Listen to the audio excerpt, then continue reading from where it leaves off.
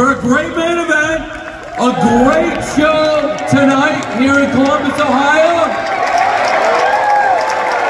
She came very close. She's been coming close in a lot of big matches. Let's hear it for a great star from the Midwest, Miss Skye Blue.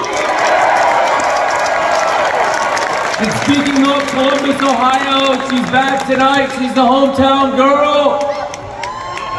Why don't you say a few words to your hometown crowd, Miss Madison Rayne? What's up, Columbus?